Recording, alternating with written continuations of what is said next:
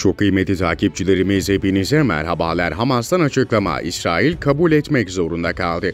Değerli izleyenler, Heniye Hamas'a bağlı El Aksa televizyonunda yayınlanan video kaydında Gazze'deki son gelişmeleri ve yerel saatte 7'de yürürlüğe giren insani arayı değerlendirdi. Heniye, işgalci vahşi saldırılarının üzerinden yaklaşık 50 gün geçtikten sonra ve halkımızın direnişi karşısında direniş güçlerinin şartlarını kabul etmek zorunda kaldı dedi.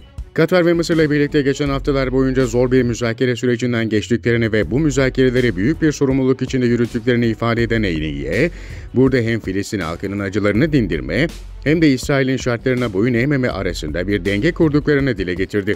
Hamas düşman uyduğu sürece uzlaşma uyacaktır diyen Heniye, Gazze ablukasının kapsamlı bir şekilde kaldırılması, esir takası, Mescid-i Aksa'ya yönelik saldırıların durdurulması, İsrail'in saldırılarının sona erdirilmesi ve Filistin halkının kendi kaderini tayin ve bağımsız devletlerini kurma hakkını elde etmesi konusunda sarf edilen çabaları da memnuniyetle karşıladıklarını aktardı.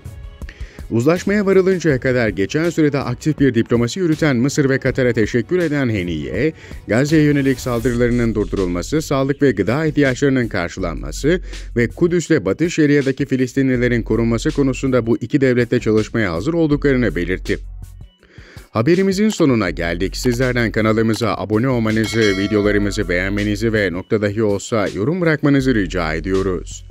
Bir sonraki haberde buluşmak üzere, hoşçakalın.